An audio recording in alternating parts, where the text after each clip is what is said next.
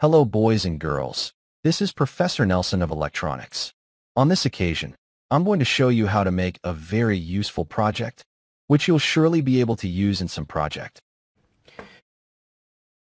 For this project, we're going to need a 12-volt, 5-amp switching power supply or power supply. But if you don't have one of these, a 12-volt, 2-amp power supply will still work. Next, we're going to need a 0.8 millimeter or 0.9 millimeter enameled copper wire.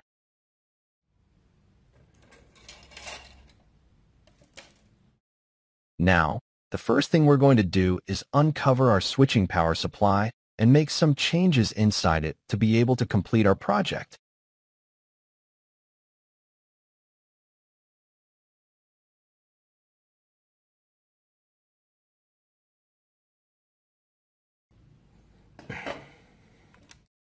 Okay, from the switching power supply, the component we're going to use or modify is going to be the high-frequency transformer, or chopper transformer.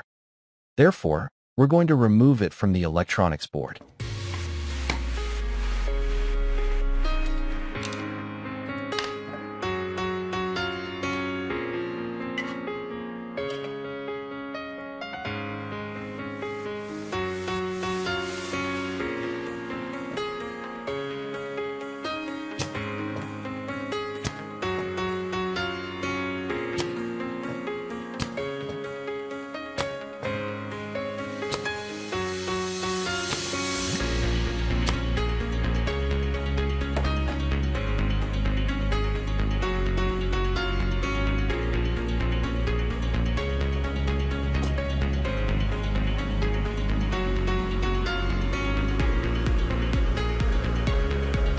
Okay, now we're going to disassemble the transformer.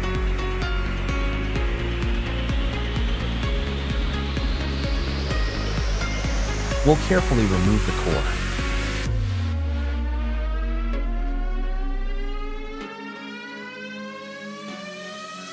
If the glue doesn't come off, you can use isopropyl alcohol to spread it on the core and wait a moment.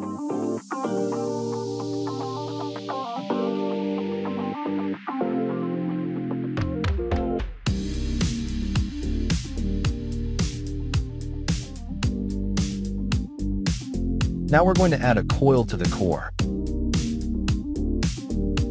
Wind it in the same direction as the transformer's coils. We're going to wrap it two or three times. In our case, we're going to wrap it three times.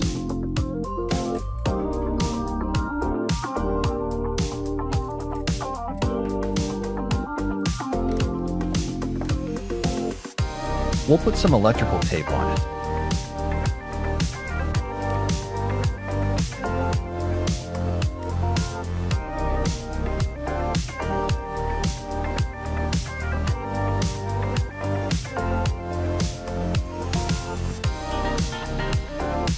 Now we'll replace the core.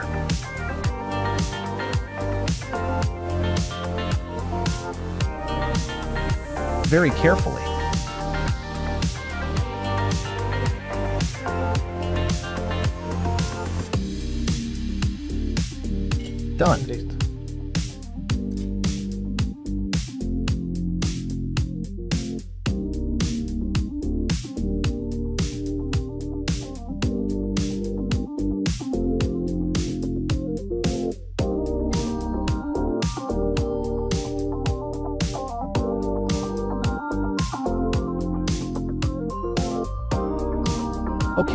Now we solder the transformer back onto the circuit board.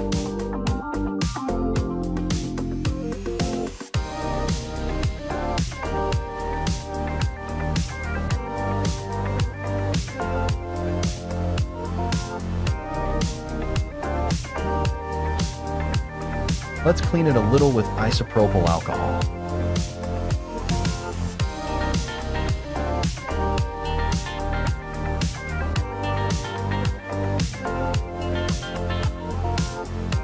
Okay, let's move on to assembling the power supply.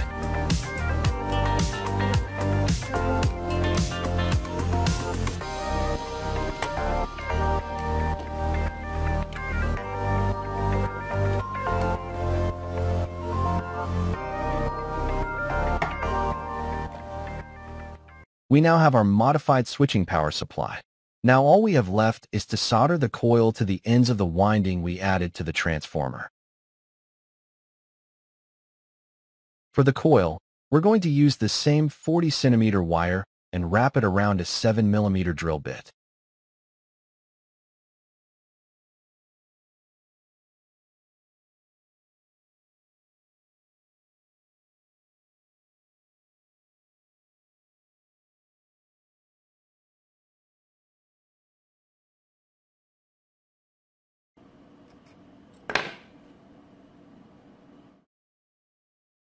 That's approximately 15 turns. Okay, now let's solder the coil.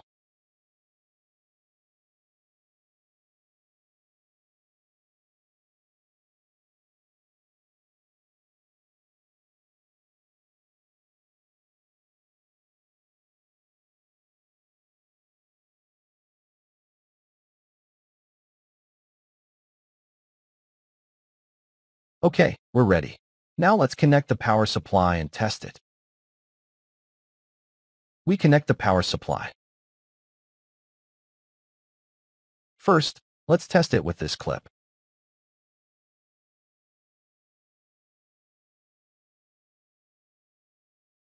Nothing, it doesn't heat up. Why doesn't it heat up? Well, let's see why. Okay, guys, now for some theory. Our circuit works as follows. First, we have our transformer, which we just modified.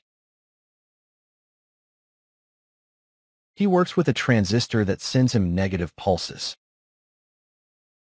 That is, in this case, the transistor will send us high-frequency pulses.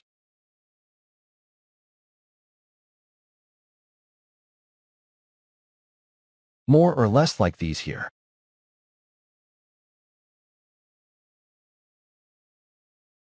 Now, we add a coil to the same core or to the transformer. Two, three, or four turns. That depends on each individual. What does it matter whether it has more or fewer turns? The more turns you have, the higher the output voltage in your coil. However, the higher the voltage, the less current you can use. Therefore, it's good to balance the voltage and current. So you have to try between two and four turns. No more than four turns. Now, how does this work? These pulses that enter the primary winding also exit through the secondary windings. However, here, it comes out as direct current. But here, it won't come out as direct current. It will come out as alternating current because this is just a coil. Therefore, at a given moment, we will see the same signal, but smaller, since we will have less voltage. This same signal will go down and return. We'll have it like this.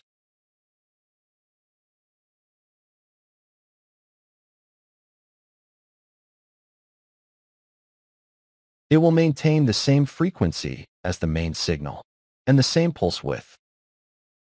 When the pulse width is quite narrow, it means no energy or current is being consumed. What does that mean?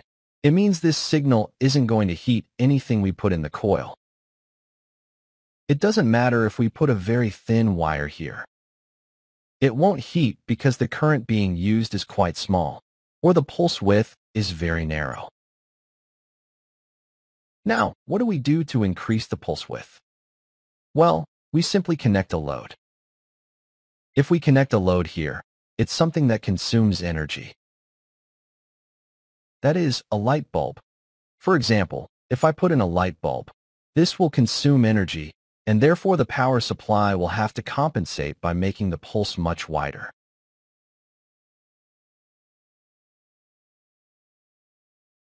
Therefore, it will deliver more current. This will affect our coil. This means that this width will increase.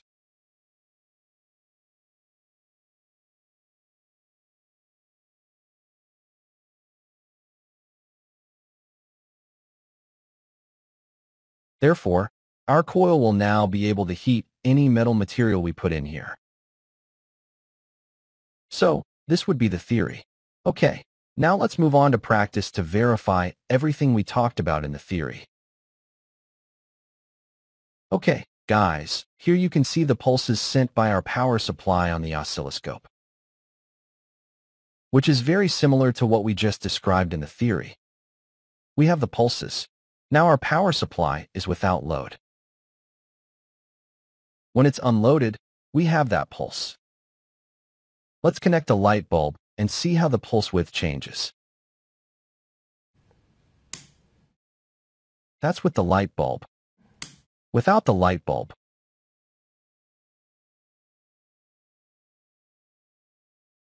Without the light bulb. With the light bulb, you can see that the pulse width is much greater. Therefore, more current is delivered to the load. And when the load is not connected, very little current is delivered, and this is how we're going to make our coil work. Okay, let's test it. Very carefully, so that the spotlight doesn't obstruct our view of the experiment.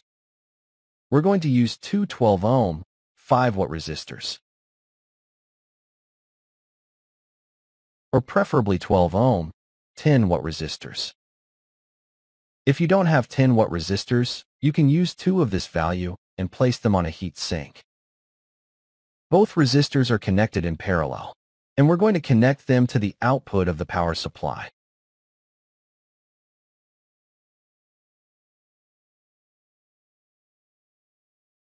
The idea of the resistors is to force the power supply to deliver at least half of the current it can deliver. Now, let's use a switch to turn our coil on and off. Let's fit it there.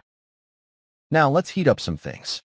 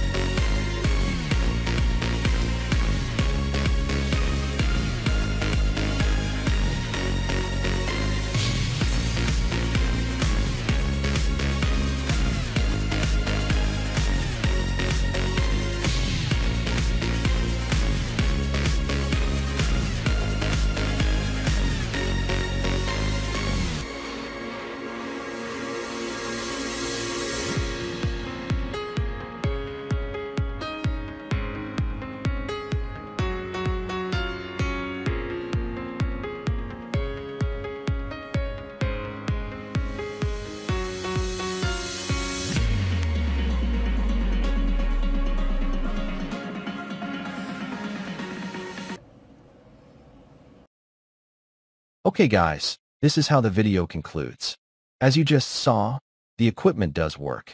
It heats metals, but small metals. As you just saw, it's for small parts. It can heat them quickly and get them red hot. And as you just saw, it will definitely heat them up. Now, don't forget that this is just an example, so you know how induction heaters work. However, if you'd like to know more about the topic, you can write it in the comments so we can make a video about it. Okay, guys, now don't forget that if you like the video, A like helps the channel a lot. See you in the next video. Bye bye.